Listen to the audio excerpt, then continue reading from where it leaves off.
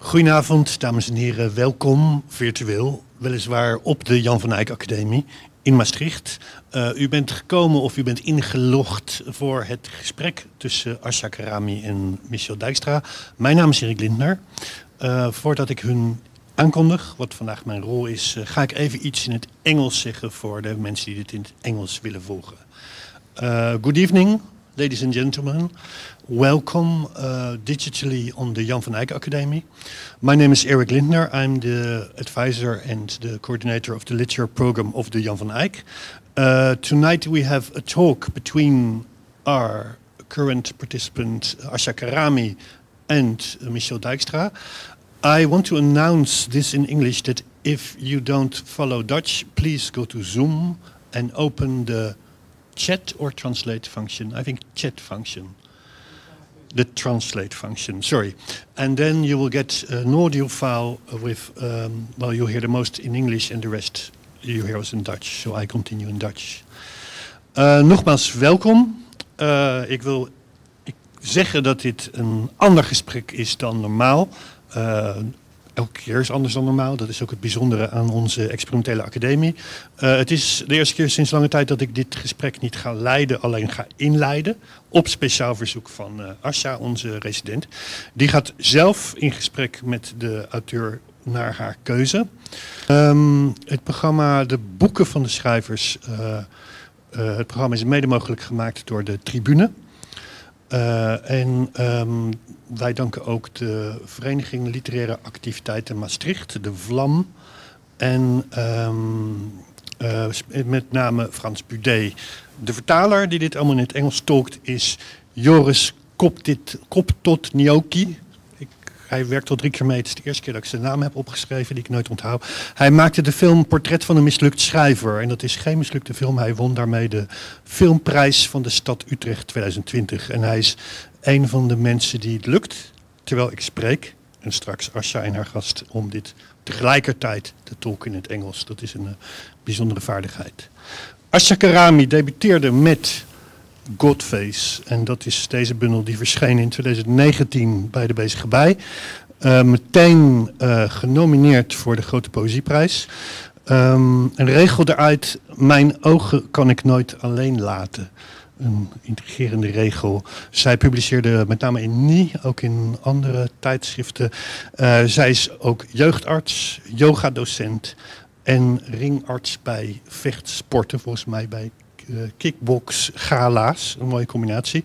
Zij maakt uh, met Johan van Dijken poëziefilms. Een van die films is geselecteerd voor het Zebra Festival in uh, Berlijn. Het grootste internationale poëziefilmfestival. En wat mij altijd bijzonder frappeert aan Asha is haar ontzettend eigenzinnige stem. Bijna radicaal eigenzinnige stem. Ik kan geen regel van Asja zien zonder te weten dat hij door Asja is geschreven. Dit is een, uh, iets bijzonders in haar werk. Um, zij koos voor Michel Dijkstra.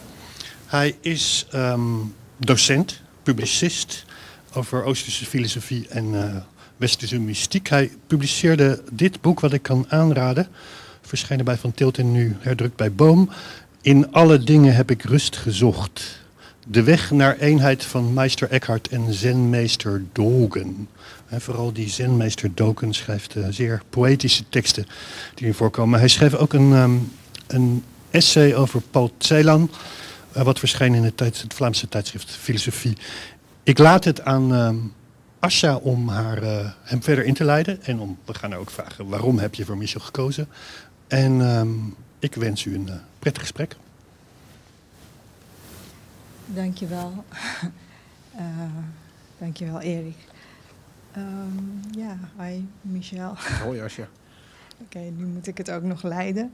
Um, ja, misschien is het fijn om eerst te zeggen waarom ik jou gekozen heb. Uh, jij weet het natuurlijk, maar zodat we het een beetje context kunnen geven. Mm, uh, eind vorig jaar ergens uh, schreef jij mij en in je uh, mail zei je dat je de bundel een beetje leest als een soort uh, interpretatie van een koan die aan het eind als een soort motto achter in de bundel staat. En ja, ik denk dat ik dus dat de minimale zin en minimale hoeveelheid tekst die je daaraan wijde en de interpretatie ja, heel fijn vond om te horen. Ik dacht van, oh oké. En toen ik ook nog eens ja, ontdekte dat je zelf filosofie hebt gestudeerd en je daar heel lang bezig mee hebt gehouden en heel veel boeken erover hebt geschreven.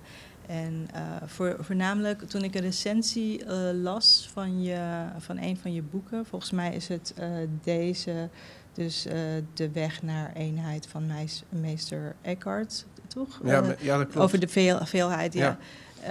De recensie leek wel een recensie van mijn bundel. Ik weet niet waarom, maar ja. waar er zit, zaten fragmenten in waarbij er werd gezegd dat veelheid werd gevierd in, in het boek. En uh, ja, dat, dat je daar dus heel veel aan had gewijd. Dus ik dacht van, oh, dat vind ik dan heel erg interessant. En zodoende zijn we eigenlijk met elkaar in contact gekomen. En ja, ik vond dit een mooie gelegenheid om met jou daarover te praten en te zien waar het naartoe leidt. Ja, dank je. Ja. voordat jullie beginnen, ik ben één ding vergeten. Mag ik heel even iets zeggen nog?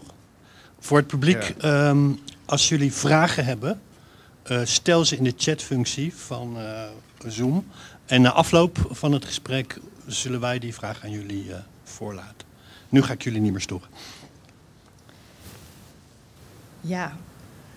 Ja, er was een, was een gedicht, want ik was jouw bundel natuurlijk aan het, aan het lezen zoals dat moet, hè, van kaft tot kaft. En ik kwam toen het gedicht aan eenzetting tegen, wat in drie delen uiteenvalt. En dat, dat laatste deel, ja, daar, daar breng je ook een, uh, een, een koan uh, ter sprake. En we, we, zullen zo ook kijken wat dat, wat dat dan is, een, een, een koan. Maar uh, dat, dat, dat trof mij vooral. En toen ging ik verder bladeren en toen zag ik dat jij, ook, heel opvallend, het motto van je bundel niet voorin, maar achterin had geplaatst. En, en ook dat was weer een, weer een koan. En, en zo kwam ik ertoe om jou die mail te sturen. Maar, maar misschien wil je dat derde deel oplezen van het gedicht uh, aan eenzetting. En misschien kan ik dan zeggen wat mij daarin trof op het eind. Ja, dus het gedicht staat achter in hoofdstuk 1. En ik zal deel 3 voorlezen van aaneenzetting. Ongeschonden niemand. Een moeder gaf symbiotisch wat ze kon. Een verstrekmodder kalk tussen mijn tanden malen. Hello money. Wat is leefbaar? Wat is menselijk? Ik laat ze nog steeds niet binnen. Gehuld in ro roze. Eigenaardige plek is dit. Even makkelijk op te doeken. Eindig met koan. Hoe klinkt een hond in scheidklare positie? Bald hand.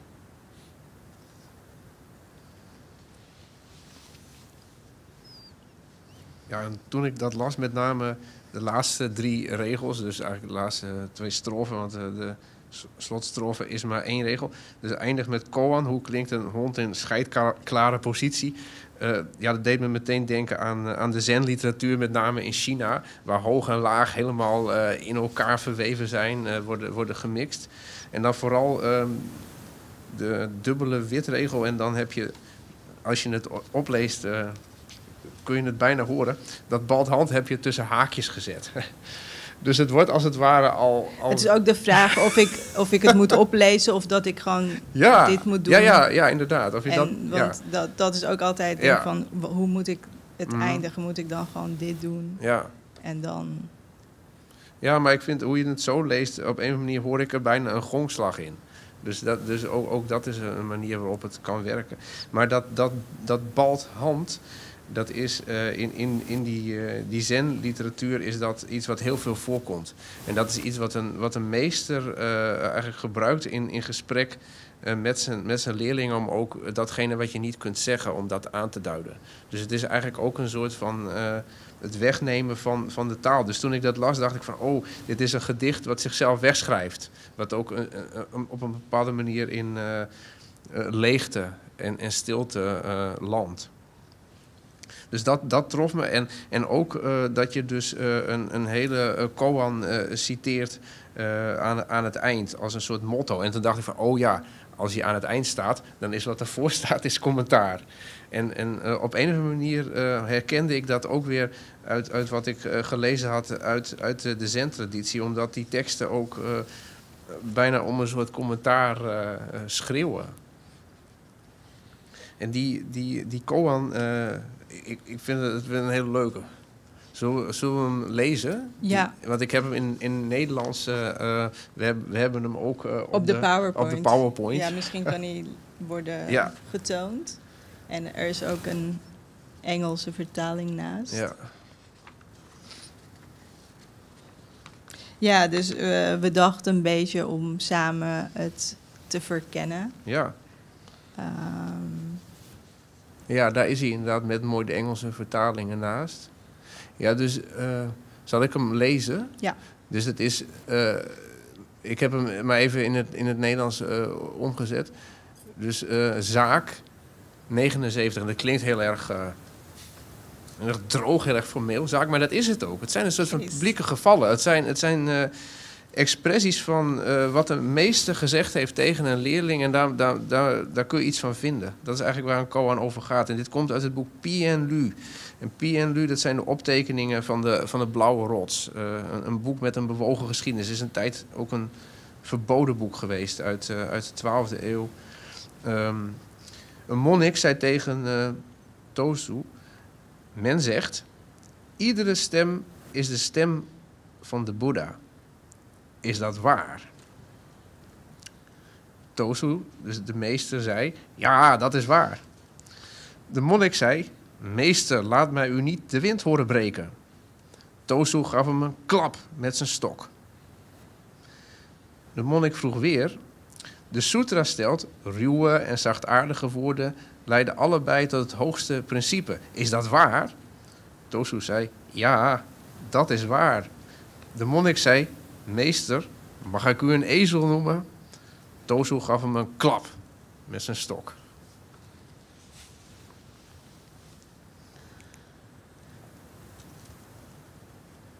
Een koan, uh, ja, dat is, dat is een, een begrip uit, uit de zen-beoefening en uh, daar wordt verschillend over gedacht. Um, als je tegenwoordig zen gaat beoefenen, dan kun je koan-studie doen. En dan kan het zijn dat je meester je een koan geeft en dat je daarmee moet gaan zitten en een soort van antwoord moet, uh, moet formuleren wat jou dan uh, op weg zou kunnen helpen in, in, je, in je spirituele exercitie. Um, maar als we kijken naar de tijd waarin deze tekst geschreven is, deze optekeningen van de blauwe rots, dan betekent het toch iets heel anders. Dan gaat het veel meer om die publieke zaak. En dus er, er is iets voorgevallen vroeger tussen een meester en een leerling. En die zaak, dat verhaal, wordt als het ware voor het gerecht gedaagd. En iedereen kan daar zijn mening dus over geven. En traditioneel eh, eh, zijn het natuurlijk de meesters die dat, eh, die dat mogen doen, die daar iets over zeggen. Maar nu, nu kan iedereen het, dus kunnen wij het ook, zal, ik, zal ik maar zeggen. Nou, um, ja, als je, je hebt deze niet voor niks gekozen, denk ik, bij, bij je bundel Godface. Waarom, waarom juist deze koan? Um, ja, in deze, maar ik moet zeggen, in bijna alle koans komt alles samen. Uh, maar uh, in deze specifiek, ja, deze heeft gewoon heel veel aspecten die resoneren bij hoe, hoe ik denk of wil denken of wil verkennen. En um, ja, um, nou, het begint al met zo'n mon, monnik die dan naar Tosu gaat. Ja. En uh, dus er is al een soort verhouding leerling en docent. Dat vind ik al een beetje een interessante verhouding. Vooral omdat uh, mijn interpretatie van Zen heeft ook te maken met dat er geen hiërarchie is, dat, dat er geen, uh, ja, dat je eigenlijk regels, concepten en al dat soort dingen van je af moet slaan. Dus zo'n mon monnik die dan naar een docent gaat en vraagt of iets waar is, vind ik al bijna een soort falen of zo van, van de monnik die dan. Uh, en verder um, zegt de monnik dus. Uh, elk geluid is uh, het geluid van de Boeddha of elk stem. El, En ehm, dat, als je dat met woorden uitdrukt, dan is dat een hele, wordt het opeens heel letterlijk en conceptueel. Wat volgens mij ook niet echt de bedoeling is van Zen. Dat als je iets leest, dat je dan uh, eigenlijk daar op een letterlijke manier mee omgaat. En dat uh, dan als een soort absoluut iets ziet. En uh, zelfs als het waar zou zijn, zijn er natuurlijk verschillende waarheden. Je hebt subjectieve waarheden waar we nu in leven. Dus de, de die meester leerlingrelatie is dan een soort subjectieve waarheid. Uh, waar je ook iets mee moet, of dat dat ook bestaat. En dan heb je een absolute waarheid waarin inderdaad elke stem de stem van Boeddha is. Of dat, er, dat uh, de stem al eigenlijk Boeddha zelf is, mm -hmm. of, of Boeddha de stem. Of, um, en deze uh, persoon monnik haalt het voor mijn gevoel een beetje door elkaar.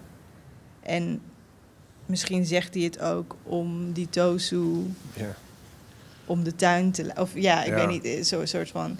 Oh ja, is, en, en tosu zegt hier uh, in, in deze vertaling... Yes, it's true, maar ik had ook versies geze, uh, gezien waarin hij alleen zegt right of zo. Oh ja, ja. Um, dus in één woord. En voor mijn gevoel is die right hetzelfde als die stokslaag mm -hmm. dat, dat die monnik later krijgt. En ook bijna zo ironisch van yeah, right. ja. Uh, ja. En ook om te kijken van oké, okay, wat komt er hierna? Wat wil je... Wat, ja. Uh, en dan komt de monnik met een soort van als dit waar is, is dat waar een soort van uh, oorzaak-gevolg. Mm -hmm. Dus uh, als dit zo is, dan wil ik jou geen wind horen. Hoor, of don't, don't ja. let me. Uh, sommige vertalingen staat er don't break wind of ja. I don't want, ja, zoiets. terwijl als je uh, zeg maar probeert zen te beoefenen zoals deze monnik, moet je die concepten laten vallen en oorzaak-gevolg niet op die manier zien. Volgens mij moet je dat veel losser halen. Het kan ook gevolg-oorzaak. Of mm -hmm. het, is, het is veel uh, ja, ongrijpbaarder of zo, um, denk ik. Um, verder, omdat er heel veel stemmen in mijn bundel voorkomen, vond ja. ik het ook die letterlijke interpretatie van die monnik. Dat is natuurlijk ook wel een valkuil die waar, waar, waar ik zelf ook in zou kun, kunnen, of mensen die, die, die de bundel lezen ook in kunnen trappen. Van. Ja. Dus elke stem, dus elke stem in deze bundel is ook de stem van Boeddha. Dus dat vind ik dan met, die, uh, met de titel God Face, dus een soort van uh, al die gezichten, al die stemmen uh, gaan terug naar dat ene of zo, verwijst naar een soort eenheid daarin. Ja, ja. Ja dat denk ik ook. Ik, ik lees hem, het is heel mooi wat je zegt. Ik lees deze Cohen ook heel erg tegen de achtergrond van die eenheid-veelheid problematiek. Namelijk, en, en wat, je in, wat je in het begin uh, zei, uh, ik denk in, in de. Nou ja, wat, wat ik dan de mooiste zendialogen vind, daar heb je echt dat die, dat die rollen tussen meester en leerling, dat die op een gegeven moment volkomen inwisselbaar zijn. Hè. Dat, het wordt echt een soort van spiritueel stuivertje wisselen dan. De, hè. de, de leerling wordt de meester, de meester wordt de leerling. En gezamenlijk zijn ze leerling en gezamenlijk zijn ze meester. Ik moet zeggen dat ik dat in deze tekst niet zo uh, nee, zie. Want ja. hier is het toch echt zo van... Ik denk helemaal dat je, dat je gelijk hebt, voor zover je gelijk kunt hebben... op, op dit niveau hè, waar we ook de concepten uh, los moeten laten. Maar ik denk dat, dat we hier met zo'n vermetele leerling te maken hebben. Iemand die eigenlijk de wijsheid van de meester wil stelen of de meeste wil aftroeven. Um, maar het is zo gek, hè, want het, het zijn ook een soort paradoxen. Hè? Van, dus um, men zegt, iedere stem is de stem van de, van de Boeddha. Dus wat jij ook terecht zegt, dus dat het allemaal één is. En is dat waar? Ja, zeker. En dan eh, zegt de monnik inderdaad van... laat mij u niet eh, een, wind worden laten. Hè? Dat, is het, dat, is het, eh, dat is het letterlijk. Ehm, en daarom, daarom deed hij me ook weer eh, denken aan, aan die verwijzing... die hij maakte naar, naar die hond in, in het gedicht... Wat je, net, eh, wat je net oplas, het derde deel daarvan. Dus het, lijkt er inderdaad op dat, eh, dat die monnik... de consequentie trekt... uit die uitspraak van iedere stem is de stem van de Boeddha. Alleen hij doet het wel heel specifiek. Hij, hij kiest echt één aspect. En, en, en wil eigenlijk, tenminste zo lees, lees ik hem een beetje, eh, zijn meester daar vastpinnen. Heb jij dat, heb jij dat gevoel ook ja, een beetje? nee, hij, hij- het is een soort Ja. smart guy movie. Ja, zo, en het is ook... het is- oh ja, ja. weet je wel. Ja. En eh, hoe zit het hier dan mee of zo? Of, eh, en je kan het ook een beetje lezen als... eh, eh, want er, er waren ook eh, versies waarin er staat... don't break wind. Mhm. Niet I don't, I don't want to hear you.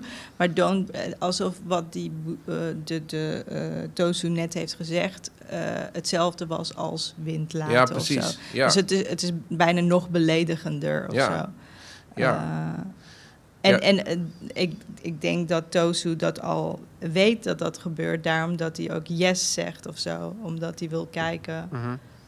Eh, want hij had het ook ingewikkelder kunnen maken of zo. Ja. Of zeggen van, nou ja, als absolute waarheid ja. wel, maar... eh, Ja, het is ook wel. Maar ik denk ook dat Tosu niet anders kan zeggen dan, dan ja. Want het, het, het is ook zo. Hè? Ieder- iedere stem is de stem van, van, van de Boeddha. Maar als je, als je dat zegt en je, je beaamt het, dan, dan laat je die, die eenheid ook echt de eenheid. En, mhm. en wat, wat de monnik dan doet, die, die, die selecteert meteen een stuk eruit. En wil dat ook nog eens een keertje op zijn meester plakken. Of inderdaad, van als je die interpretatie, die, heel mooi die jij ook eh, neemt, van ja, die wil de woorden van de meester meteen wegwissen. Maar dat gaat dan ook als het ware te snel. Hè? En eigenlijk zou je misschien kunnen zeggen dat, eh, dat die monnik eh Tozo al een klap heeft verkocht. Vandaar dat hij zelf ook direct een klap met de stok. eh, eh, Met die yes, toch? Of Ja, ja, niet? ja. ja. Ik, vind, ik vind die yes dus ook een beetje mhm, dezelfde Ja, eh, ja, connotatie of gevoel uitdrukken als zo'n. eh, en ook, ik heb ook het gevoel dat, eh, dat ehm, die klap eh, brengt het weer terug naar eenheid of zo. Hij demonstreert bijna dat elke voice is Buddha's voice. Ja. Met, omdat hij eh, zo spontaan eh, weet wat het antwoord op dat moment is. eh, even denkend vanuit dus eenheid. Dus ja, die stok, die, s- de- de- het slag ervan en de monnik allemaal in zijn één en hij zijn hand. Het is gewoon één beweging of zo. Één, één, hij brengt het weer terug naar eenheid of zo, naar één. Ja, of naar het hier en nu. Hè. Dat kun je ook, Ja, het is heel vaak ja. in, in die verhalen dat inderdaad er wordt... naar de werkelijkheid. ja, er worden klappen gegeven. ja. Of, of we lopen in het bos, maar we zijn al twintig jaar bezig om, om, eh, om de verlichting te zoeken. En dan, terwijl die, eh, die tak afbreekt en op onze teen terechtkomt... oh, dan hebben we hem ineens, want we hebben onze gedachten tijdelijk losgelaten. Dus dat, dat zit er ook in. Maar ik, ik, ik lees het ook een beetje als van... eh, nee, jongen, jij zit echt helemaal verkeerd. En jij, jij wil eigenlijk wil je al uit de eenheid eh, eh, spreken... terwijl je opgesloten zit in, in jouw concepten en in jouw, in, in jouw veelheid. En ook in je lichaam, want dat is die stok. Mhm. Dus dat, ja je, Ja. je bent daar, ja. Ja, dat dus is zo... naar, naar de werkelijkheid van, van de veelheid of zo ook, ja. Ja, ja en, en het grappige is van hij, eh, hij had het trucje twee keer uit. Hè? Het is- een zeer vermetele kerel, deze, deze anonieme monnik. Want hij komt dan ook met, met de sutra. Dus eh, ruwe en zachtaardige woorden leiden allebei tot het hoogste principe. Ik heb ook andere vertalingen gelezen. Misschien dat je die ook eh, eh, kent van zowel ruwe als zachtaardige woorden komen voort uit het hoogste principe. Maar dat komt eigenlijk op hetzelfde neer natuurlijk. Ja, ik had, eh, even kijken, die sutra zelf ook opgezocht. Dus dat is een vers uit Parinirvana ja, Sutra. Mahaparinirvana Sutra. En ja. daarin, eh, de vertaling hier is... eh Buddhas use soft words. For the ignorant, they speak roughly. Rough words and soft words both lead to the first principle. Dus dat is een hele andere inter- interpretatie Mhm. dan wat hier die monnik ervan maakt. Eh, en hierin wordt er gezegd dat de Boeddha dus met zachte woorden praat. En Ja. voor de ignorant rough words gebruikt. Mhm. En eh, dat heeft niets te maken met iemand een donkey noemen of zo. Ja. Eh, Ja, zeker. Dus dat, dat is Ja. ook gewoon... Ik vind dat ook heel komisch. Het heeft een slapstick effect of zo. Dat iemand zo eh, de plank mislaat of zo. Maar ik vind het ook wel heel zennig in de zin van dat eh, eh, men gaat heel vrij om. Eh, ik wil geen mensen tegen het hoofd stoten, maar ze zijn net als, net als katholieken zijn ze niet de meest bijbelvaste of de meest sutra-vaste eh, figuren. Hè? Dus, dus juist die, die sutras worden dan eh, zo, zo, in, zo ingezet in hele concrete dialoog. Ik denk dat je dat hier ook, ik, zie het een beetje ook als varianten wat hij eerst al zei. Hè? Iedere stem is de stem van de Boeddha. Oké, ruw en zachtaardig geworden. Dus dat is ook weer eigenlijk dat hele spectrum van hoe je kan, kan uitdrukken. En dat, dat is allemaal één. Ja, dat is, dat is waar. Mag ik u een ezel noemen? Maar ik denk ook, eh, wat jij ook eerder aangaf, met, met dat hij dat zegt, hè, aarzelt hij al. Mag ik u een ezel noemen? En, en in dat aarzelen, ja, is, is wat één is, is al gebroken. Dus je bent dan eigenlijk al reddeloos verloren. Dus hij krijgt, eh, hij krijgt weer, een, eh, weer een klap. Hoe, hoe het verder gaat, weten we niet. Ja, maar eh, eh, heeft het voor jou ook niet te maken met dat ehm, beoefenaars van Zen het Ja. hebben over dat je niet je dus vast moet klampen aan die woorden, aan die sutra's of dat, Mhm. dat je dat, dat dat niet is hoe je het be- beoefent of dat. ehm, en dat deze persoon juist weer terug naar woorden en concepten gaat. Hij probeert er soort duidelijkheid te vormen of verlichting te vinden door zich vast te grijpen aan die woorden en Ja. dan een soort eh, gevolgen aan te geven. Oh, dus ik mag je een ezel noemen of zo. Mhm. Terwijl dat Ja. eh, dan eh, ja, heel erg dus bij die woorden en concepten Ja. blijft. In plaats van dat hij eh, het verkent en kijkt wat er echt staat. Of hoe, hoe ja, Ja, ja, als jij, sorry, ik zou zeggen ja en nee. nee, Want ik moet wel een beetje. vertel. Nou, ik denk, eh, hij mag hem zeker een ezel noemen. Hij mag hem 100% een ezel noemen. Alleen het punt is, hij mag hem ook 10.000 andere namen geven. En dat tegelijkertijd. En met, met dat hij zegt, mag ik u een ezel noemen, selecteert hij slechts één van die veelheid. En dat is Mhm. denk ik wat. Dus, dus kijk, eh, het is heel mooi eh, wat je zegt Ja. van Zen gaat om het loslaten van, van concepten. Ja en nee, wat, wat mij betreft. Ehm, eh, dat, dat zie je in het werk van Dogen eh, heel sterk, maar je ziet het ook ehm, in, in de plaatjes van de os. Dat is een, dat is een, een schilderijenreeks die, die de weg naar, naar verlichting eh, verbeeldt. En dan heb je op een gegeven moment een lege cirkel. Dus dat zou je kunnen zeggen, dat, dan, is, dan is alles werkelijk losgelaten en is alleen eenheid. Alleen maar, maar dat is niet het slot. Want in die lege cirkel verschijnt eh, om te beginnen de natuur opnieuw. Dus terug naar de bron. En tenslotte eh verschijnt er een, een persoon die dan eh, het stoffige marktplein betreedt. Met helpende handen. Dus met andere woorden, in, in die leegte komt alles weer terug. En ik denk eigenlijk dat het met die concepten ook zo zit. Dus dat het eh, mogelijk is om, eh, om, een, om taal eh, op, een, op een open, vloeiende, een stromende, een aanduidende manier te gebruiken. En dat misschien deze meester ja, dat ook eigenlijk wel heel graag wil voor die Mhm. monnik. Dat hij zo kan spreken. Maar de manier waarop hij, waarop hij spreekt. kijk, op, het, Ja. ja. Het absurde is natuurlijk dat het wel kan. Hij mag zijn meester een, ezel noemen. Alleen eh, ehm, met dat hij het zo, eh, zo eh, alleen op die ezel Maar gooit. omdat, het, Ja. omdat de situatie of Mhm. omdat mm, eh, iets, zeg maar, omdat, dat, omdat hij het uit een soort spontane iets doet. Ja, Maar niet omdat hij het hangt aan een concept van oké, dus Ja. dit, is, dit zijn de concepten, dus da- dan mag ik binnen concepten kan ik dus zo handelen. Dus dat is wa- wat ik denk dat wat dan schuurt, wat, wat, wat Ja. je niet kunt op die manier kunt. eh, recht praten Ja. of zo. Dat je, dat, oh, oh, ik mag het doen omdat. Ja, Nee, je mag het doen omdat op dat moment de situatie er eh, eh, dat vraagt, zoals zo'n stokslaag. ja. Daarvan kun je zeggen dat de situatie zo is dat hij dat moet doen. ja. Of, Ja, inderdaad. Maar ook, dit is misschien wat abstract, maar je zou kunnen zeggen van kun je, kun je spreken ehm, vanuit de on- ontdekking dat je alle concepten hebt losgelaten. Hoe klinkt dat? En je zou kunnen zeggen... dat de, is waar. Ja, de meeste Ja. spreekt zo, hè? die heeft die taal. En dan Ja. monnik denkt slim te zijn, oh, dat kan ik ook. Ja, Maar het punt is, je kunt het alleen als je het hebt losgelaten. Ja. En dan, eh, dan, dan vloeit het. Dus, ik, dus ik, ik zie hem zo een beetje in, in, dat, in dat... Het is echt een taalspelletje op een heleboel eh, ja maar niveaus. dat, dat hij het überhaupt vraagt, laat zien dat hij er nog mee worstelt. Ja, zeker. Ja, dat is eigenlijk al, al, inderdaad dat hij, dat, hij, dat hij faalt. En Ja, dat, je weet al dat Ja, het eh, ja, niet ja. goed gaat af- aflopen. Ja, precies.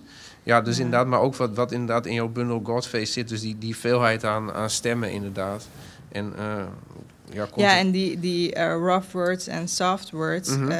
deze monnik interpreteert het een beetje als, ja. ik weet niet, scheldwoorden en misschien politeness of zo. Of, Ja. Maar dat is niet wat die sutra zegt. De Nee. sutra zegt dat eh, de Boeddha voor ieder persoon een ander soort woord moet gebruiken, omdat Ja. het specifiek gericht eh, als iemand meer of minder intelligent of eh, meer of minder hard leers. En dat, eh, dus dat, dat, eh, en dat heeft niks te maken met politeness of met scheldwoorden wat hij doet. ja. En omdat ik wel zelf dus soms harde taal gebruik, vond ik het Mhm. wel grappig dat ik eigenlijk zijn interpretatie eh, zou kunnen toepassen. Dus juist de, de interpretatie van de monnik of zo Mhm. zou kunnen toepassen op mijn bundel, waarin ik harde en zachte woorden gebruik Ja. in die context, zeg maar. Ja. Dus, Ja, want inderdaad, in, in de context van Boeddha's onderwijs is het wat ze noemen de vaardige middelen. Dus de, dus de meester ziet wat de leerling nodig heeft en, en reageert eh, daarop. Maar, maar je zei net ook, eh, eh, en ik denk dat dat waar is, dit is ook weer zo'n tekst die gaat over, over meester en leerlingschap. en ja, dat is, ook, dat is natuurlijk ook iets problematisch. Dus, hoe, dus hoe, hoe kijk jij daar tegenaan? Want, want uh, we zijn beide met Zen bezig. En wat je dan onvermijdelijk gaat lezen, dat zijn zulke soort teksten. Mhm. Dus er zijn altijd meesters en leerlingen. En je leest over het kloosterwezen. En dat is bij Dogen ook van... ja. Elke seconde van je dag is ingevuld eigenlijk. Ja. Ja, nee, eh, wat jij zei over koans, dat het soms omgedraaid is, dat vind ik dus dan, eh, dat Ja. vind ik eh, leuk en interessant. Eh, maar echt in een klooster, eh, volgens mij is, zit, ehm, heb je daar, eh, ja, je, je zou kunnen, je zou je kunnen afvragen ja, of dat wel de goede weg is. Of ja, ik weet het niet. Ja. Zo een ehm, machtsverhouding waarbij eh, je eigenlijk als leerling eh, moet vertrouwen dat wat de docent ook doet, dat hij weet wat hij doet, toch? Je moet alles Ja. accepteren. Dat is eh, wat je als monnik bij een klooster, je, je, mag je, je mag niks in twijfel trekken. Dus we alle stokslagen, erger, ik weet niet wat er allemaal gebeurt verder, maar de, de- ja, welke taak je ook krijgt, in de keuken of eh, juist vegen, maakt niet uit wat jij wilt.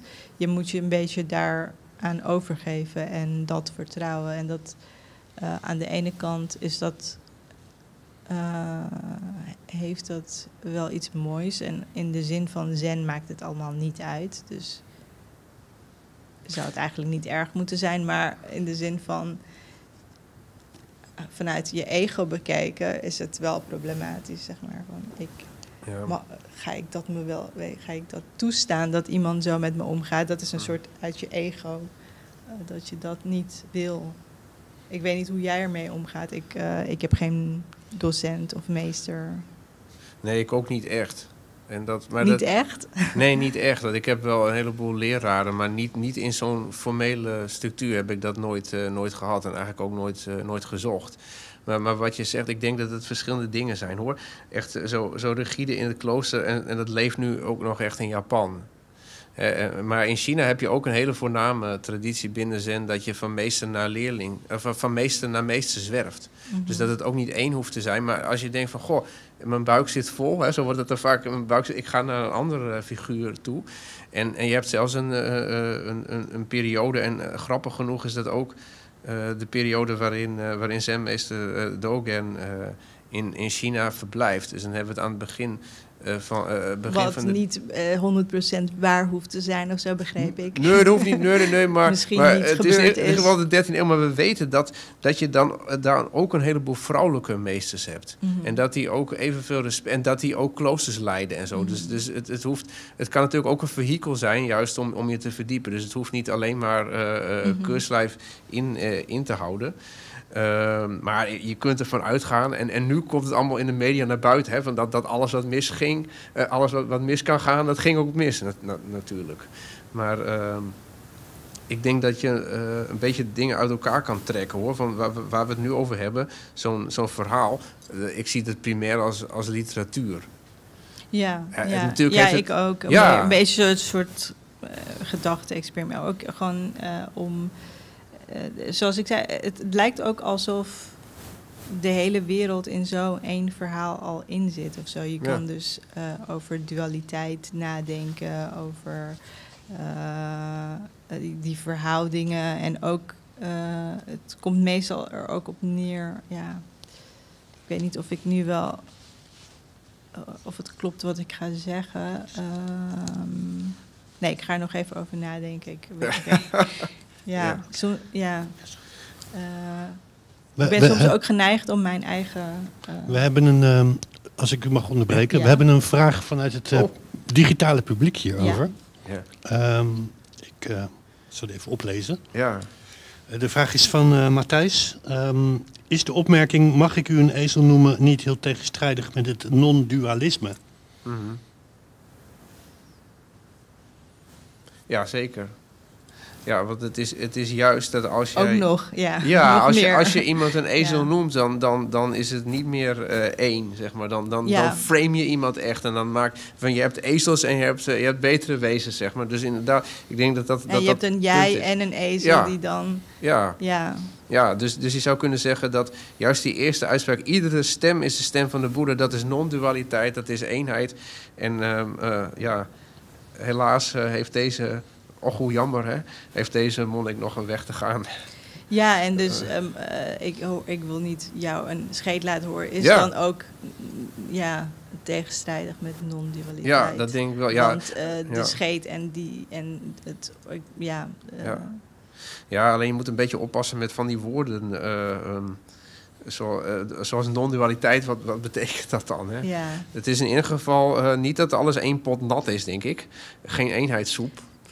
Eh, Wel in Eh, absolute zin, toch? Of zo? Ja, maar in, in een, in een, in een eh, conversatie kunnen meester en leerling één zijn. En ik zou zeggen, dat is, dat is non-dualiteit. Ehm, alleen dat, dan eh, behouden ze wel helemaal hun, hun eigen eh, persoonlijkheid. Mhm. Alleen het is helemaal openge, opengeklapt, opengevouwen. Het, het, het resoneert eh, geheel.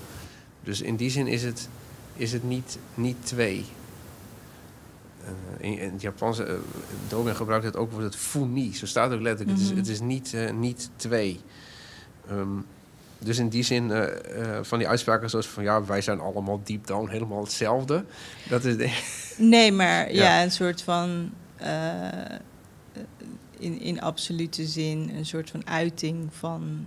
Eh, dus wel, in, het, het wordt geuit in een veelheid. Mhm. Dus zowel veelheid als Ja. eenheid ja, zijn even waar ja, daarin. En, en dat, eh, dus eh, alleen door te zeggen dat er een soort eenheid is, betekent niet dat er geen veel. Voor, voor Nee. mij betekent het niet dat er geen veelheid. Betekent juist wel dat er veelheid dan ook is. ja.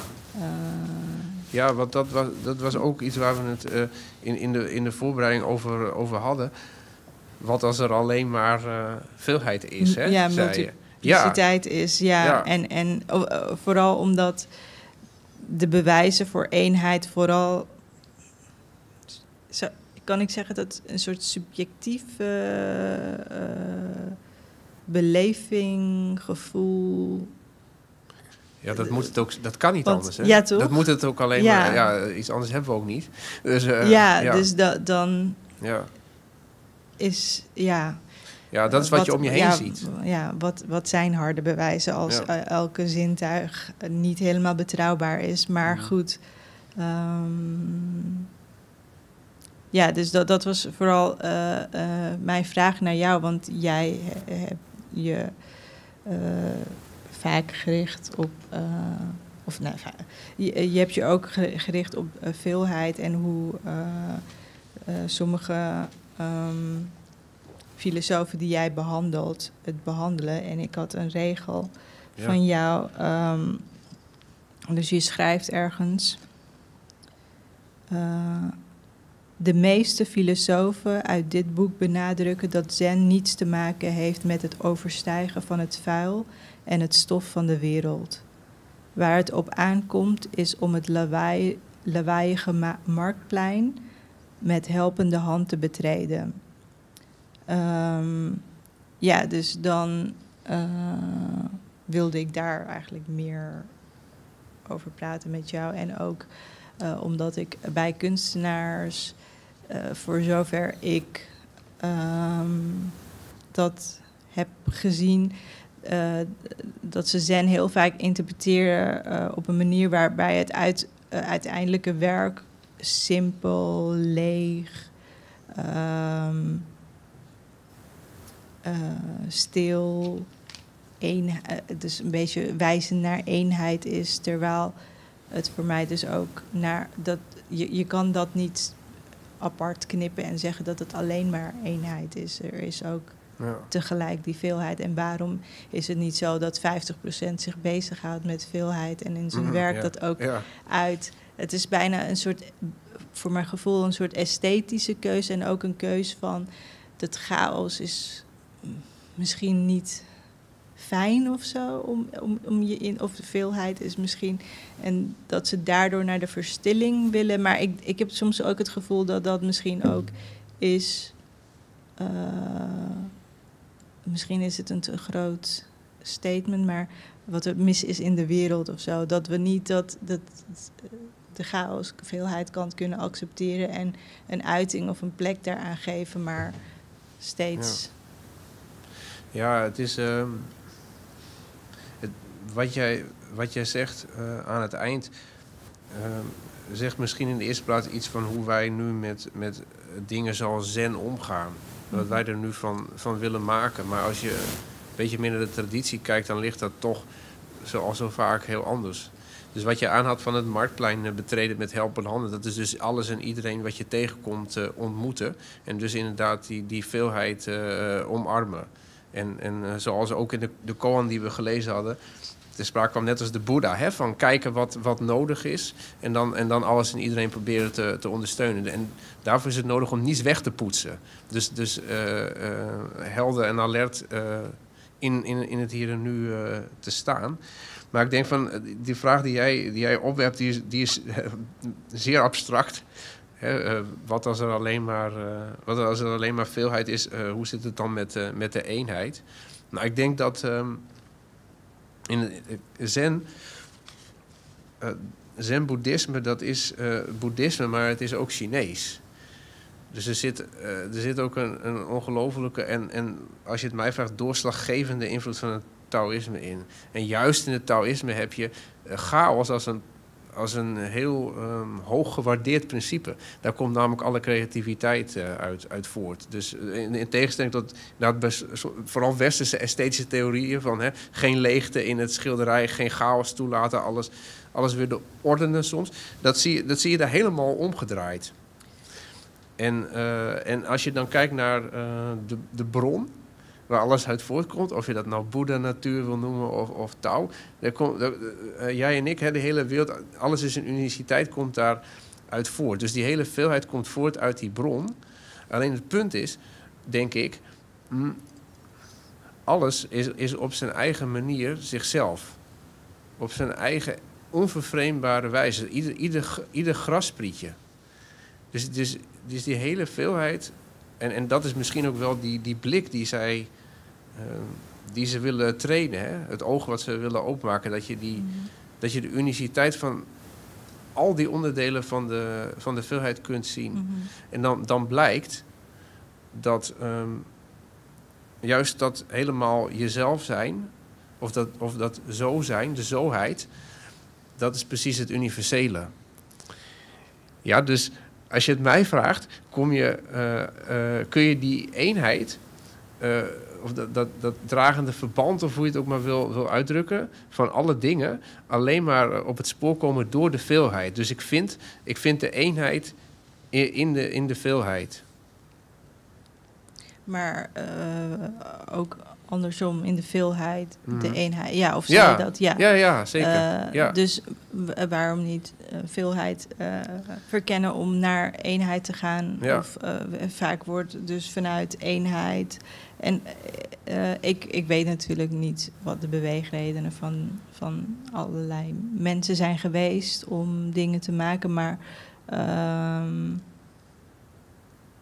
of misschien ehm, zie ik het niet of interpreteer ik het eh, niet oké eh, goed. Maar ik heb niet het gevoel dat ze vanuit die eenheid naar de veelheid willen. Ik heb het gevoel dat ze echt naar die eenheid en stilte en, en, en verstilling... en dat daar een soort esthetische waarde of Ja. een soort rust of zo... omdat misschien de wereld te chaotisch is... dat dat dan een fijne manier is ja. eh, en wa- wat ik ook prima vind, maar ik vind het grappig dat die balans gewoon, eh, dat er niet de helft is die dan juist Ja. dat wel. En eh, heel Ja. veel mensen die dan met veelheid bezig zijn, die worden ook niet volgens mij herkend als iemand die met zen bezig is. Dus Mhm. jij was ook eh, volgens mij een van de twee mensen die daar, daarover sprak met mij, terwijl de Ja. rest het de hele tijd heeft over hele andere Mhm. dingen en geen zen erin ziet, misschien zelfs een soort anti-zen of zo. Ja, ja, weet je wat, het- wat, wat het is? Als het over eenheid gaat, voor je het weet heb je een commercieel label op, ook dan kun je het gaan verkopen. Maar dat is bij die, bij die Chinezen is het niet. Ik heb ook zo'n eh, eh, zo'n schilderij van, van Wang Gui op de, op de PowerPoint. Misschien Ja, dat die er even bij kan. Daar zie je namelijk ook eenheid en veelheid. Alleen dan Ja, die is mooi. geïllustreerd. Eh, dus het eerste beeld volgens mij Ja, van het de eerste, PowerPoint. eerste beeld, ja. Ja, precies deze. Dit is eh eh, Wang eh 16e, 17e eeuwse schilder. Landschap naar een oude meester. En oude meester, dat is in het Chinees Lao Tse. En dat is ook de naam van de mythische grondlegger van het Taoïsme. En landschap, dat is, dat is Shan Sui. En eh Shan, dat is een berg en Sui is water. Dus dit is, dat is precies wat je ziet, water en bergen. En eh Shan is yang en eh Sui is yin. En dat werkt op elkaar in. En je ziet ook eh, heel sterk eh, ehm, die, die beeldelementen. Je ziet dat de mens eh, een minimale positie inneemt. Hè, twee, eh, twee vissers in, in de boot. En, eh, en die dobberen mee. En eh, ik, ik, ik lees het, eh, eh, misschien zie jij het ook zo. Ik lees eh, dit schilderij een beetje zo van... ja, die zitten dus echt in de veelheid, hè? In de wereld van de, van de veelheid. Maar daarop, daarop afgestemd ook in, in de stilte, ook in de rust, ook in het, ook in het verband. Maar, eh, maar via, die, eh, via die veelheid. Het is een heel gedetailleerd eh, eh, schilderij. Heel, heel mooi is ook eh, eh, de rechterkant van, eh, van deze afbeelding. Waar je eh, een, een, een derde beeld- beeldelement aantreft, de mist. Ja, dus de bergen verdwijnen erin, het water eh, verdwijnt erin. En er komen allemaal vormen weer uit eh, tevoorschijn.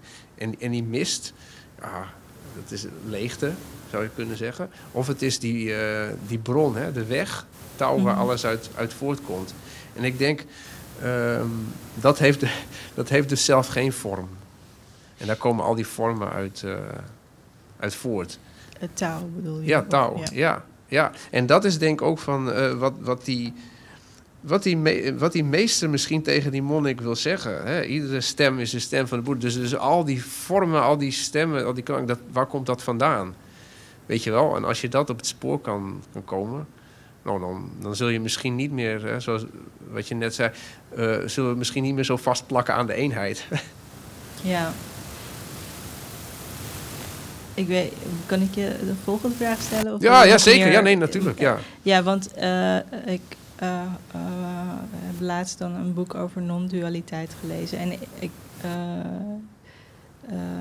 ik vind het soms wel frustrerend. Ik, ik vraag me af of jij dat ook als, als Ehm, dus daarin werd bijvoorbeeld een metafoor gebruikt van we zijn eigenlijk uh, allemaal de zee, maar we, we, hmm. vergissen ons dat we dan e denken dat we een golf zijn. Of, uh, ja, of we zijn ieder een golf van de zee. En, maar um, zeker in, in, in, een, in, in, de wereld waarin we leven, waar, of waar je ja, toch. Um, ik, um, ik weet niet, eh, op de een of andere manier vind ik het ook frustrerend. Maar in dat boek werd ook gezegd dat gedachten uh, vanzelf komen als je goed mediteert en lang mediteert. Dan merk je dat jij niet degene bent die je gedachten creëert, maar dat die gedachten gewoon opkomen. En ja, ik vond dat wel gewoon, ik weet niet, het is gewoon bijna, dan soms krijg je ook een soort nihilistisch gevoel. Ik weet niet of jij dat ook wel eens en dat je dat, hoe je daarmee omgaat. Want dat zou ik, ja, misschien is dat ook wel iets waar ik soms mee zit of zo als ik die teksten lees. Ja, ik moet er nu niet te ver gaan, maar ik ben er echt zo allergisch voor. Hè? Voor zulke teksten. Zo van, ja, weet je, deep down uh, zijn we allemaal hetzelfde. Allemaal dat water. Hè? We denken dat we golf zijn, maar eigenlijk zijn we allemaal deep down allemaal hetzelfde. En uh, nou, dan denk ik van, ik hoef, ik hoef helemaal niet hetzelfde te zijn als bepaalde personen, laat ik het zo zeggen, die ik op straat tegenkom die ik niet mag. Dan wil ik niet deep down op een spiritueel niveau daarmee uh, helemaal, helemaal samenvallen. Nee, ik... ik nee, ik vind het niet erg om, om, om hetzelfde te zijn, maar het is meer. Wat moet je daarmee? Of ja. wat, wat mhm. betekent het? het uh, soms krijg je ook een soort zinloos uh, gevoel. En zeker als ik denk van, oh, uh, is dat zo? Wie, wie, wie creëert die gedachten? Ben ik de observator van die gedachten? Ben ik de creator van die gedachten? Ik heb ook dromen in mijn mm bundel. Wie maakt die? In hoeverre hangen die dromen samen met mijn bewustzijn? Of is er ook een soort collectief iets wat er doorheen. Dat, ik weet het niet. Soms is het. Uh, ja. Uh, en vooral als je. Um, ik denk omdat je identificeert. Of ik, omdat ik mij identificeer soms met mijn gedachten. En denk dat uh, die mij het meest vormen. nou, dan ja is het wat lastig om met zulke uitspraken om te gaan. Dan weet je niet zo goed wat je daarmee moet. Of, of je er überhaupt iets mee moet. Ja, maar zit, uh, tenminste, dit is, dit is hoe ik. Want ik, ik, ik, ik, herken dat heel erg wat je, wat je zegt. Maar ik heb ook wel een soort van manier om daarmee mee om te gaan. Mhm. Maar die heb je ook nou beschrijven. Dat ik denk mhm. dat, dat dat creatieve proces, dat dat precies die, die dimensies heeft. Die je net aangeeft. Dus als je echt goed bezig bent met, met de taal, ja, wat, wat gebeurt er dan? Hè, in, in hoeverre uh, schrijf ik de tekst of wordt er, wordt er in, mij, in mij geschreven? Ik, ik zeg zelf eerder zoiets van: het, het gaat ook, uh, het, het schrijven is ook een exercitie in openheid. Dan een exercitie in openheid voor de taal, die in principe geen, geen grens heeft. Hè? Dus je kunt daar zo, um, wat ze dan in zen noemen, dat geen hindernis mm tegenkomen, kun, kun, je daarin, uh, kun je daarin beoefenen. En dat doe, dat doe jij omdat jij je opent voor de taal. Maar terwijl jij je opent voor de taal, opent de taal zich ook uh, voor jou. En, en ik, ik denk Tenminste, voor mij zit daar ook een stukje van die, uh, van die non-dualiteit in. Dat je niet meer weet waar het ene begint en waar het andere uh, ophoudt in dat, in dat proces. Ja. En dan kan het nog zo zijn dat als je naleest, dat je denkt van, hm, het moet toch anders? Maar op het, op het moment dat je het schrijft... Ja, ja. ja. nee, uh, daarom vond ik dit gedicht ook wel fijn om vandaag te gebruiken. Omdat dit een van de weinige gedichten ja, zijn waarvan ik ze in een gevoel van spontaniteit of, mm. heb geschreven. Heel veel gedichten zijn geconstrueerd of heb ik verschillende dingen bij elkaar genomen. En, maar dit staat helemaal los van ja, voor mijn gevoel los van alles wat ik normaal mee heb gemaakt of zie of ervaar in, in de wereld. Dus het, het ja. En um, ja, daarin vind, vind ik het dus het meest eigenlijk raken aan mijn interpretatie van zen. Want ik, ik, zei, ik zei al tegen jou dat voor mij zen eerder een uiting is van spontaniteit dan van leegheid of zo. Mhm. Of dat, dat die leegheid meer in functie staat om die spontaniteit naar boven te halen. Ja, ja en ik denk dat, dat je uh, daarin heel sterk wijst naar die, naar die Chinese invloed op zen. Want in Taoïsme is spontaniteit ook eigenlijk ja, het hart van, van, van de esthetica, van de, van de creatieve theorie. Maar ik moet zeggen, ik, uh, ik tref inderdaad. Uh, in, in, in poëzie tref ik die, die zen aan, maar ik tref het soms ook op, op onverwachte uh, plekken. Bijvoorbeeld in, in het werk van, van Alberto Giacometti. Dus een van de belangrijkste 20e eeuwse kunstenaars, wat mij betreft, even groot als, als Picasso. En hij ontmoet op een gegeven moment een, een Japanner. En daar heeft hij ook een, een gesprek mee. En wat, wat, mij betreft is dat bijna een soort, soort zen-dialoog. en ik, uh, ik wil daar graag een stukje van voorlezen. En uh, ja, misschien zie jij uh, het zenniger. welk jaartal is het ongeveer? Ja, okay. Dit speelt zich af in, in 1956. Um, en ik heb er ook een beeld bij.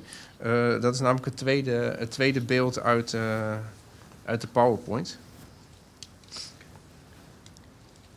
Dus het tweede beeld. Ja, het tweede, uh, tweede beeld, ja. We kregen een oké van Hamid. Hij zegt dat er ook. Ja. ja.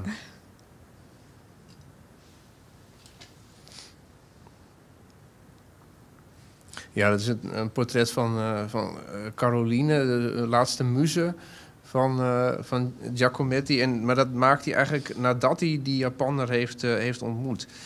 En uh, wat ik nu voorlees, dat komt uit een, uit een boek. Uh, en dat, dat gaat in, in juni gepubliceerd worden. Intimiteit en onthechting gaat dat heten.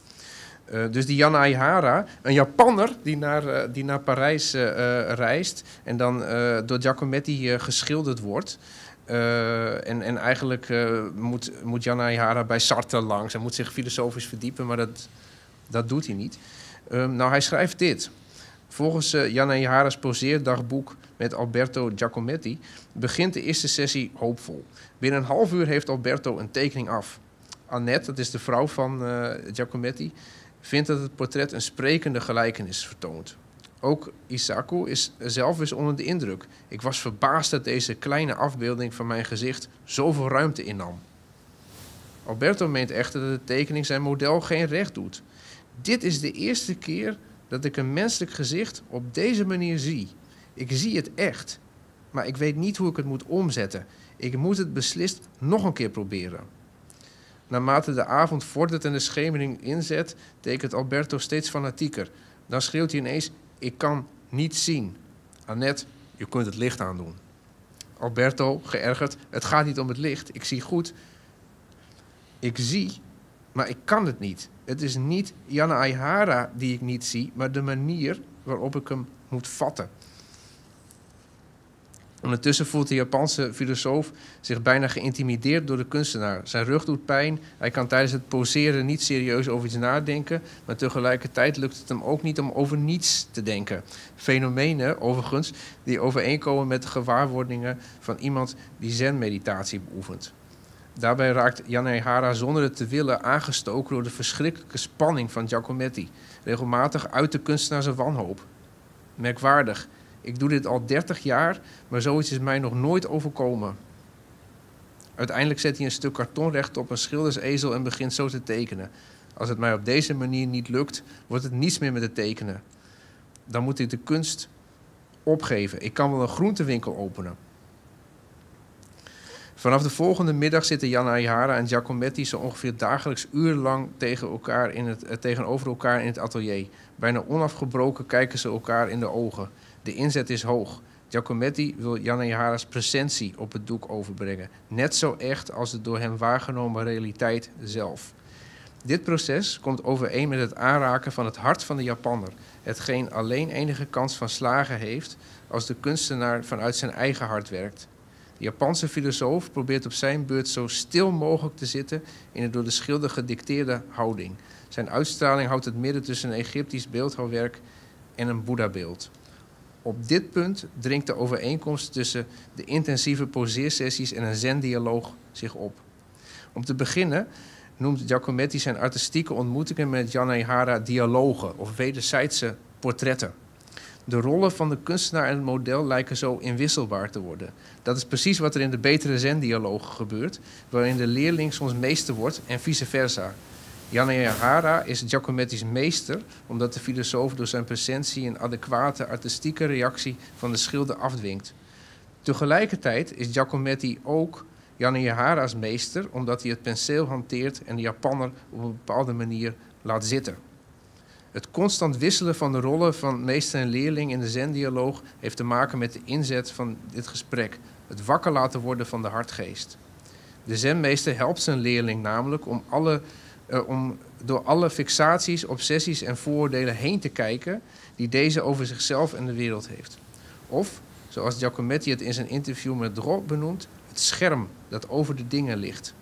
Een vaak gebruikte methode van zenmeesters bij het op weg helpen van hun volgelingen is het spiegelen van de vraag van de leerling. Zoals in de volgende dialoog tussen de beroemde zen voor ouders Bodhidharma en Gweke. Gweke, de geest van uw leerling is onrustig. Ik smeek u, meester, breng hem rust. Bodhidharma, breng jouw geest hier, dan zal ik hem tot rust brengen. Gweke, ik heb naar de geest gezocht, maar ik kan hem nergens vinden. Bodhidharma, zo. Ik heb je geest reeds tot rust gebracht. Nou, en die intensiteit van die uitwisseling tussen meester en leerling zie ik ook heel sterk bij Giacometti, die, die de presentie, de levende presentie van zijn model wil vinden. En dat is ook dat ongelofelijke samenspel van alle details. Hoe krijg je dat in een eenheid op het doek? Dat gaat je nooit lukken. Alleen dat omarmen van die omhelzing, eh, of dat omarmen van die, van die mislukking, dat wordt dan uh, dat wordt de weg van, uh, van Giacometti. Dus ik denk ook uh, op plekken waar je misschien zen niet, niet vermoedt, ook in het artistieke zie je precies die, die processen zo uh, aan het werk. Mag ik een tussen, ja. tussenvraag vanuit het publiek ehm, werpen? die vraag is van Tiba Abdelaziz. Die vraagt, wat betekent, betekent het om niet zen te zijn?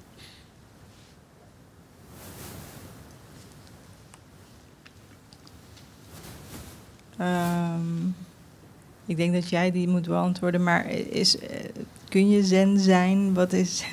Of, ja, uh, want het wordt tegenwoordig natuurlijk op verschillende manieren gebruikt. Uh, als een soort van rustige ja. staat en alsof je ontspannen bent. maar ja. Ja, kijk, de, het, het, het, makkelijke, maar misschien wat flauwe antwoord is... als je zen wil zijn, dan ben je het zeker niet. He, dus ik, ik zou eigenlijk om een explicatie van Aziz willen vragen... van wat bedoel je met, met, met niet, niet, niet zen? het gaat om, om, om, om de definitie. Maar kijk, als we, als we nog naar die dialogen kijken... dan is de inzet volgens mij niet, niet de waarheid met een hoofdletter en ook niet een standaard met een hoofdletter. Dus als je zen dan wil gaan maken tot een standaard waar je aan kan voldoen of niet kan voldoen, dan wijzen die teksten denk ik in een andere, in een andere richting. Ja, ik, ik wilde niet uh, met deze interruptie Asja onthouden van haar, uh, haar reactie op uh, Giacometti. En, ja. ja. Ja. Um, Um, even kijken. Um, ja, dus hij ontmoet deze man en daarna is hij eigenlijk een beetje van slag. Door ook ja. het gesprek waarschijnlijk dat, uh, dat ze hebben gevoerd. Of, uh, ja. Ja. Ja. Um, ja, dus het, het is bijna alsof hij opeens dan ziet waar de, de gebreken daarvoor waren in het. Uh, vangen van wat hij normaal ziet, wat een soort bewegend, ja, dat, of tenminste van wat ik ook aan de tekening zag, een soort veelheid van dat niks stilstaand is en alsof alles ook een beetje zo bijna op dat moment al aan het uit elkaar vallen is. Ja. Of dat ja, dat continue beweging of zo, alsof hij dat opeens ziet in iemand. Um, eh, ik weet niet wat voor eh, reactie ik. eh, ik moet iets specifieker. Nee, nee, vragen. volgens mij is Maar het... eh, je, je zei aan het eind iets over ehm, zo'n dilemma van kunstenaars en misschien ook schrijvers om iets wat eigenlijk niet reproduceerbaar of dat, dat, dat je alleen maar een beetje daar naartoe kan bewegen en sowieso, ik weet niet, faalt daarin. Of, maar dus dat je het eigenlijk alleen maar kan verkennen en, en aanraken. Maar dat, dat kun je natuurlijk ook met eh, als je eh, een moestuin hebt of zo, toch? Dat je dan probeert te, ja, je, je te fine-tunen met zo'n plant of wat dan ook om te kijken wat het nodig heeft. Of, dat, dat is voor, voor mijn gevoel ook bijna hetzelfde, denk ik, als eh, wat je met eh, kunst probeert. Dat je, ik weet niet. ehm, Ja, ik heb toevallig een moestuin, maar aan de fine-tuning ben ik nog niet eh, toegekomen. Nee, maar het, het object is wel, wel anders. Hè. Bij, bij de moestuin laat je de, de dingen al dan niet organisch groeien. Maar als je... ja, maar als je echt helemaal gaat observeren hoe die Ja, dingen akkoord, groeien en ja, mhm, hoe dat. Ja, Ja, ja, ja. Maar als het gaat om eh, wat, wat, denk, wat ik het ontroerende vind van het project van zo iemand als, als Giacometti, en het komt natuurlijk veel voor, maar dat je echt eh, de, de levende presentie van de ander, dat je die zoveel weergeven Mhm. als jij hem ziet. Dus het enige wat mij interesseert is weergeven hoe ik de wereld eh, Mhm. zie. En, en dat je dan weet, het, het zal mij altijd ontglippen. En het enige wat je dan kan doen is à la Beckett, hè, steeds beter proberen te falen. Mhm. Maar tegelijkertijd is dat ook een, ook een bevrijding. Omdat je namelijk al, eh, het, het eh, vastomlijnde doel heb je dan, heb je dan losgelaten. En, en wat je doet, is in, en ik denk dat dat het late werk van, van Giacometti is daar ook echt een illustratie van. Wat je doet is op ieder moment voltooid. Mhm. Ja, en niet natuurlijk, want het is ook on- onafgesloten. Herken je dat ook als je, als je gedichten maakt? Ja, zeker. Ehm, eh, en eh, eh, soms lijken ze achteraf af omdat je op een gegeven moment bent gestopt, denk ik. Of zo, omdat het dan zo. ehm, eh, ja. Maar ik weet ook niet of het een soort van. zo- je zei eerder iets over dat het gedicht ook naar jou toe komt, of de woorden. Of de, of, Mhm. Dus het is ook een, een soort wisselwerking tussen eh, materiaal en ehm, intuïtie of zo, waar, waarin je dan ja, een soort van aanvoelt dat het wel af is. Dus ik heb soms wel het gevoel dat het af is en dat ja. er niet echt iets bij kan. En so- ja, soms, Mhm. Ja. Zou je dan Niet. dat gedicht waar we mee begonnen, dan nog eh, willen voorlezen? Een gedicht dat wat mij betreft heel erg af is. Even kijken. Ik had nog een paar. Want het is tijd, denk ik, hè? Ehm, Want, eh, precies. Het is, het is, je leest nu de hele serie, toch? De drie gedichten. ja, want ik had nog een vraag over dromen, maar die ga ik Misschien moeten we een deel 2 doen. een podcast dat Ja, ja, ja, precies. waarin we elke maand één koan bespreken. De volgende precies. keer Nansen, Klief de Kat. Ja, ja, heel goed. Ja. Aaneenzetting. Op de grens van februari niet buigen, voortdurend de nacht voorbij willen. Dit gedicht is trouwens eh, ook op de PowerPoint. Op de grens van februari niet buigen, voortdurend de nacht voorbij willen, naar de kalmte van een vl- vluchtige blik. Ik krab aan opgedroogd bloed op mijn leren jas. Mijn ogen kan ik nooit alleen laten. Amber ogen voor elk wat wils. Iets overbodigs vrijwillige. Een ritueel die ik niet, dat ik niet ken. Ik heet pervers verlangen. Ik heet een loopse hond. Lachen is een soort kotsen. In een droom loop ik naast een woord dat zwart is. Er lijken geen woorden onveroverd. Schijndrachtig verzameldrang. Wat is menselijk? Ik laat haar niet binnen. Ik laat ze allemaal wachten. We zijn een echt gezin, een hecht gezin. We zijn gedeporteerd gezien. We hebben zin, charlatan, en alsmaar de maan vieren, alsmaar lachen, alsmaar hier. 2. Mag niet mooi zijn, moet coaguleren, tot een onherkenbaar geheel samenklonteren. Dat je niet weet, is dat neus of grote teen? Nee, alvleesklierroze. Dit is een spel, dit, dit leven, zeggen ze wel. Eens, mee eens, zelf verzonnen, speelsheid mijn tweede naam. Op een vreemde manier ouder worden, wang, lip, plomp vooruitdenken, steeds minder vlak. 3. Ongeschonden niemand. Een moeder gaf symbiotisch wat ze kon. Een verstrekmodder. Kalk tussen mijn tandenmalen. Hello, money. Wat is leefbaar? Wat is menselijk? Ik laat ze nog steeds niet binnen gehuld in vrije roze. Eigenaardige plek is dit. Even makkelijk op te doeken. Eindig met koan. Hoe klinkt een hond in scheidklare positie?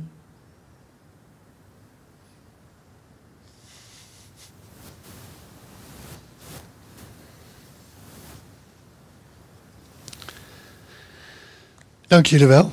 Um, Asja Krami en um, Michel Dijkstra. Ik ga heel even naar mijn collega Anne kijken of er nog vragen zijn binnengekomen op uh, Zoom. Uh, ik zie ze ook niet op YouTube. Ik weet niet of Vimeo een vragenfunctie heeft. Um, ja, voordat je misschien kan afsluiten met de vraag over de droom, of wil je daar een echt een heel niet nieuw gesprek over beginnen? Nee, ja, maar ik, ik mis altijd dromen in, in, in zen-boeddhisme. Uh, uh, want ik las een keer iets over uh, dat misschien hoe wij dromen. Ja, het is gewoon een specifiek iemand die. Ik denk dat het iemand van non-dualiteit was. Die zei dat hoe wij dromen is hoe het universum droomt. Ik, weet, ik vond het allemaal een beetje verwarrend mm -hmm. en vaag wat die persoon ja. aan het zeggen was. Maar dat de functie van droom eigenlijk is dat het universum ook droomt. En ik, ik vond het iets te, te, te vaag of zo. Maar ja. ik, ik, vroeg me af of jij daar nog iets van bent tegengekomen. Of, uh... Ja, in, in specifieke zen-dialogen schieten mij niet te binnen. Maar de droom op zich is wel heel belangrijk. Ik bedoel, als... Uh, als Boeddha's moeder zwanger is, krijgt zij een droom. Die, die heel, heel belangrijk is voor het verloop van zijn leven eigenlijk. Hè? Van, uh, uh, dat, dat, een, dat een olifant met de slurf in naar zij gaat. En dan, dan de koning en koningin zijn helemaal over een toeren. En de droomduider zegt dan ja, u, u zult een zoon krijgen. Dat zal of een grote wereldlijke vorst of een asceet worden. Nou ja, je, vader wil natuurlijk een, een troonsopvolger, dus daarom wordt de Boeddha dan opgesloten in zijn paleis. Dus die droom is daar wel van groot belang. In het Taoïsme heb je ook wel genoeg over dromen. En dan gaat het over het spelletje van wat is droom en wat is, wat is ja, werkelijkheid. Ja, maar dat is meer op Dat is heel wat anders, maar ja. ook van ook hele aardige hoor. Bijvoorbeeld van uh, dat je zo'n uh, uh, zo'n slaaf hebt en die, die werkt zich helemaal te pletten voor zijn, voor zijn rijke heer. En die rijke heer zit alleen maar feest te vieren. Maar uh, s'nachts dan droomt uh, die rijke heer ja, dat hij dat hij een slaaf is. Die alleen maar zich moet uitsloven voor iemand die aan het feest is. En die slaaf die droomt s'nachts de hele tijd dat hij, dat hij een rijke heer is. En we dromen de helft van ons leven, zegt, uh, zegt de Taoïstische auteur er dan ook nog bij. Dus wat, wat is waar? Maar dat, dat is een ander thema dan wat jij Ja, dat is een, ja, ja, ja, Maar dan is het bijna een soort... Ja, uh, ja oké, okay, ja, dit, dit, was dan weer een hele andere functie dan ja. da, die daarvoor. Want ja. die daarvoor is droom meer een soort functie waar, waarbij je je realiseert dat er ook mm -hmm. totaal zonder dat je iets aan het doen bent, dat je ligt, ook al die eh, sensoren aan kan krijgen. Je kan zelfs iets ruiken tijdens je droom. Mhm. Dus je, dat, het, eh, dat, dat daardoor je misschien ook over deze leven of dit leven eh, gaat twijfelen of dat in hoeverre dat niet waar, waar of droom. Dus dat is een, weer een andere functie dan dit laatste, waarbij je eigenlijk een soort bevrijding of een soort Ja. ander leven, dubbel leven Ja. of meerdere rollen. Ja. eh, ja, misschien is dat Ja. het ook wel. Want in, in een droom kun je soms eh, iemand zijn en dan ben je opeens iemand anders of iemand anders. Is, misschien is, zijn er ook aanwijzingen of zo om die, die aanwijzingen dat rollen in elkaar overgaan. Of eh, Ja. ja.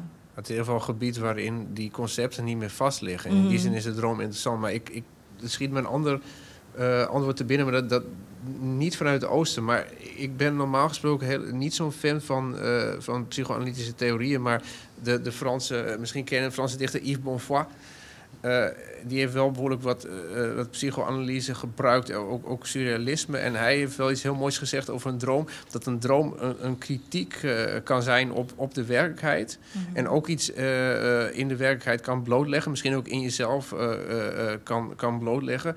Wat als jij wakker wordt, de manier waarop je de werkelijkheid tegemoet treedt, kan transformeren. Dus, dus in die zin heeft het een hele belangrijke waarde. Die misschien wel inhaakt. Ja, ik heb soms ook het hadden. gevoel dat ik realisaties in dromen heb. Mhm. eh, die niet altijd, waar, of waar ik niet meer achter, soms niet achter sta als ik wakker ben. Maar ik heb soms wel dat ik denk van, oh ja, en dat, het, dat ik dat ook blijf, dat het inderdaad een soort blijvende eh, verandering is. Ja. Eh, Ja, maar ik denk dat ze in, in die, in die zen-dialoog en ook dat zen-onderricht... daar niet zozeer de aandacht op vestigen. En dit, dit klinkt misschien wat cru wat ik zeg, maar ook met schoonheid zijn ze oppassend. Want voor je het weet eh, hecht je eraan mhm. en dan staat het je in de weg. En, en zulke soort dromen kunnen ook heel mooi en indrukwekkend en, en, en alles eh, zijn. En, eh, maar ja, als, je, als dat weer een obstakel wordt op, eh, op, op de weg... op het eh, je verbinden met wat er eigenlijk is en wat steeds verandert... ja, dan, dan is het juist gevaarlijk. Dus ik, ik, wat dat betreft kan ik begrijpen dat ze dat eh, er, er een beetje buiten laten. Mhm. Kan ik een afsluitende vraag of opmerking? Vraag is afhankelijk of jullie erop op gaan reageren. eh, maken. Eh, bij, bij poëzie en spiritualiteit moet ik denken aan eh, Jan Kaplinski, een Estlandse dichter. Een jaar of twintig geleden was hij, werd hij genoemd als Nobelprijskandidaat. Dat is nooit geworden. Inmiddels oudere dichter. eh, ehm. en pas later, toen ik meerdere Estlandse dichters leerde kennen, dacht ik, ja, je, je, je zou bijna voor ehm Taoïstische poëzie, spirituele poëzie in Europa, je, je Estlandse paspoort moeten laten zien om, om, om dat eh, goed te keuren. Later dacht ik, het is bijna een soort verband tussen Scandinavische poëzie van nu en die van de Baltische Staten. Iets wat ik niet zoveel tegenkom in, eh, in, in poëzie uit andere landen.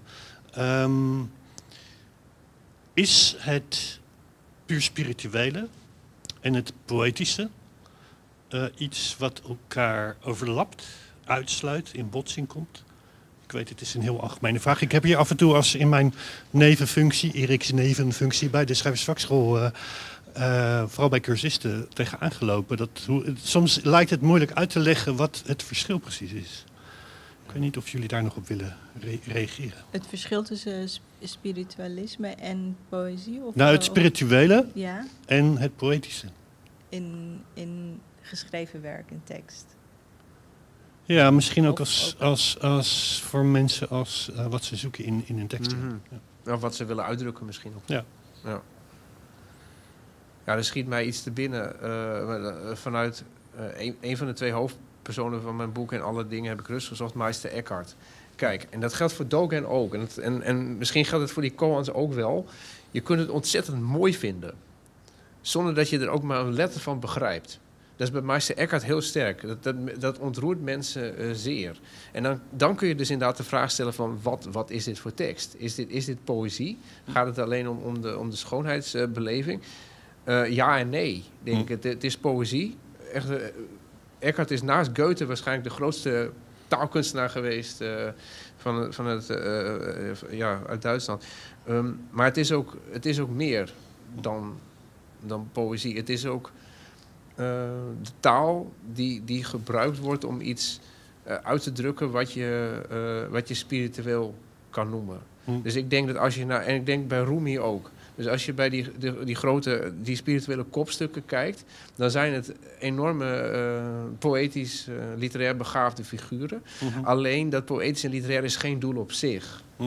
Maar is, is, is de drager van, van, een, van een boodschap die heel vaak erom gaat uh, om concepten los te laten. En daarvoor moet je een hele rijke taal hebben. Dus ik zou zeggen, ja, je kunt het onderscheid wel, wel maken, maar je kunt enorm esthetisch genieten van spirituele teksten. Mhm.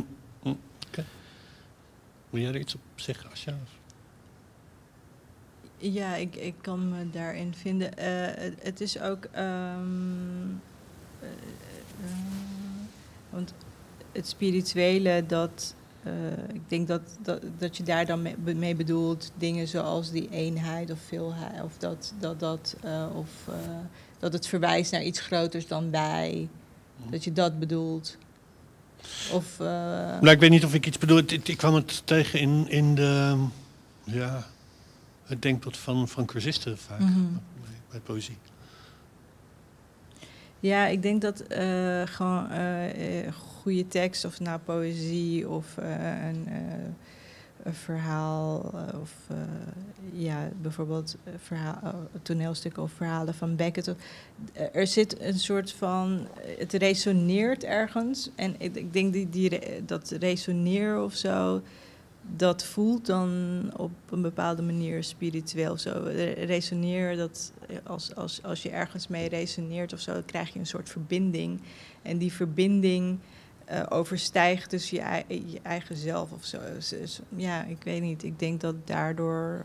Uh, en als het wat explicieter um, over zulke zaken gaat, zoals misschien bij Eckhart of Rumi of zo, een soort verheerlijking ook daarvan. Um, ja, dat het dan daarop lijkt. Maar ik, ja, ik zie zelf niet echt. Uh, want wat is ook poëtisch? Ik, ik, ik, mm-hmm. ja, ik vind ze allebei gewoon hele moeilijke termen of zo. Zeker, zeker, zeker. Ja. zeker ja. Het is, ja, het wat voor mij poëtisch is of uh, spiritueel of uh, resoneert of wat dan ook, is gewoon voor iemand anders iets anders. En spiritueel heeft ook tegenwoordig een beetje een nare connotatie. ja, ja, nee, we, ja, ja, ook een beetje ver van. Ja, ja. ja. dus dat, dat maakt het allemaal, dat er allemaal, mm. ja. ja. Mm. Als je naar de auteur zelf kijkt, uh, zo'n Eckhart die dus inderdaad uh, ook er wordt er ook gewaarschuwd om niet aan de schoonheid van de woorden te hangen. Dat vind ik wel echt een belangrijk. Ook, het is eigenlijk een soort poëtica. maar ook spirituele uitspraak. Zo van uh, niet, niet, niet uh, de schoonheid van de taal uh, verabsoluteren, maar ook die, die loslaten. Vandaar ook misschien in die komen waar we het over hadden, dat ook het, het, het platvloerse niet, niet geschuwd mhm, wordt. Mm -hmm. Oké. Okay. Ja. Um, ik, ik snap in ieder geval door het zo uitgebreid uh, over één te hebben. Wat mooi was dat ik, dat ik niet de gespreksleider was. Dat was goed om jullie er beide over te horen. Um, ik wil afsluiten met de mededeling dat het volgende programma op Dion van Eyck, het volgende literaire programma, het schrijversgesprek, is tussen de huidige uh, resident Inge Schilperoort. Die gaat praten met Adriaan van Dis en dat is op 27 mei, ook om 8 uur s avonds. Uh, ik wil nog het Letterenfonds nog een keer noemen die dit programma heeft mogelijk gemaakt. Dit live programma, wat ook later is terug te zien. Ik wil mijn gewaardeerde collega's bedanken die dit deze avond hebben mogelijk gemaakt. Hamid Sulimani en Anne van Gronsveld. En ik uh, dank het publiek om te kijken. En dank je Asja en dank je Michel voor het gesprek. Dankjewel Erik. Dankjewel Michel. Dankjewel Asja.